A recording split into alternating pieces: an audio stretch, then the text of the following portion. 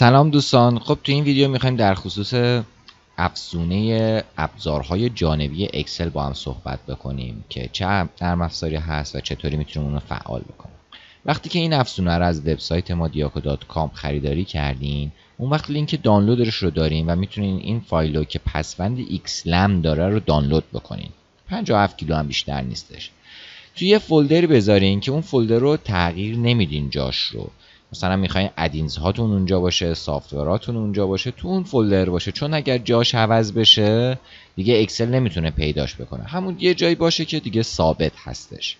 خب وقتی که این نرم افزار رو دانلود کردیم و اینجا قرار دادیم توی یه folder ی که ثابت هست دیگه کاری باش نداریم. فقط کافیه اکسل رو باز کنین. حالا هر اکسلی که هست به تو قسمت file options توی قسمت add-ins go رو بزنیم بعد بروز رو بزنین برین همون folder ی که این نرم افزار رو قرار دادین add-ins رو قرار دادین. add-ins رو select کنین و OK کنین میاره اینجا باستون تو این لیست add-ins تو این لیست add-ins هاتون و extra tools رو check box ش هم خورده اینجا گذاشته و بعد OK می‌کنین وقتی این رو OK کردین یه tab اضافه میشه باستون که این tab حاوی ابزارهایی هست که تو این افزونه داریم.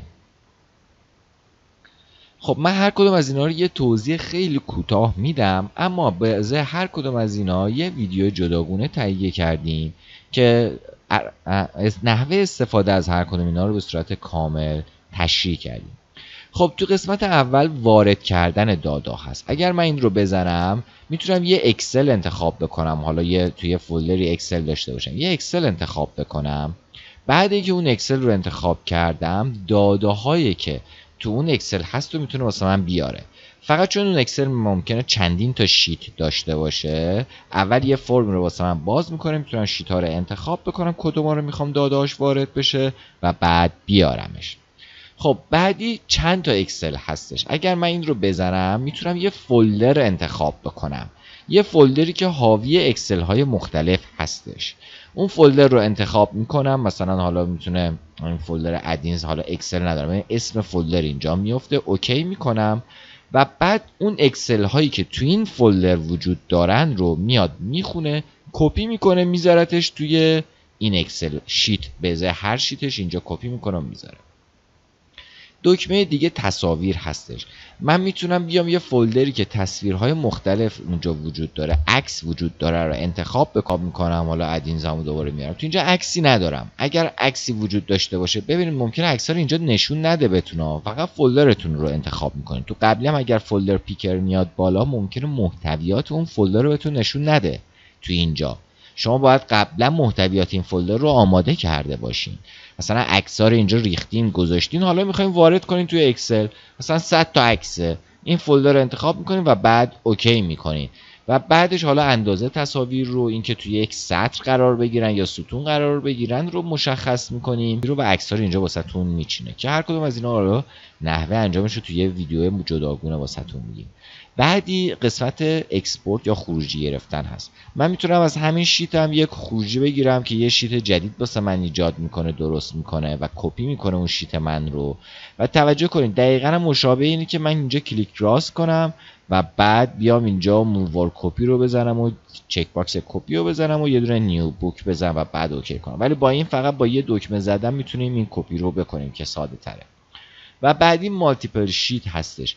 یعنی که من چندین تا sheet مختلف دارم می‌خوام از اینها نگاه کنید خروجی بگیرم.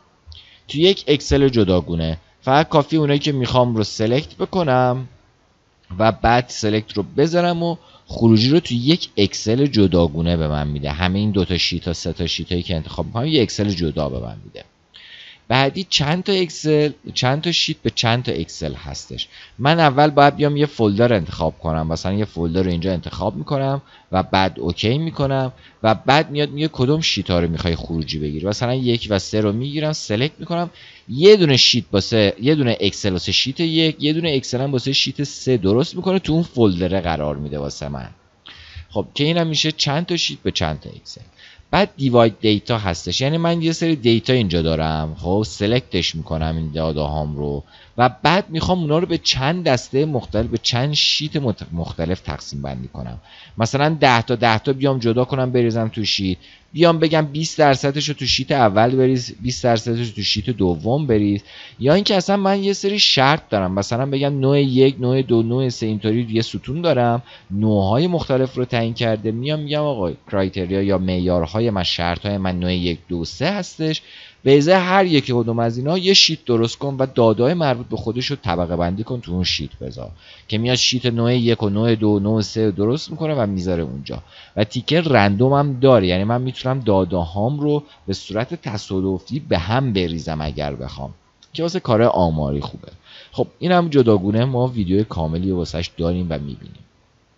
و آخریش هم کلین دیتا هستش که من یه مجموعی از داده ها رو دارم اینجا. وسطش مثلا خالی دارم سلولای خالی دارم. می‌خوام کل اون سطرهای خالی مثلا پاک بشه. مثلا اینجا empty cell رو انتخاب می‌کنم میگم کل اون سطرهایی که خالی هستن رو پاکشون کن.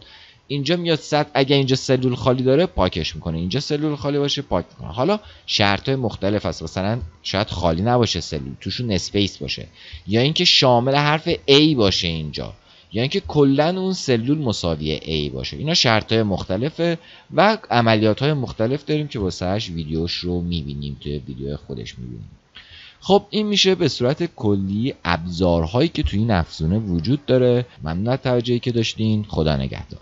برای دیدن جدیدترین محصولات و ویدیوهای ما به وبسایت کام، کانال یوتیوب دیاکو و کانال تلگرام دیاکو مراجعه بکنید.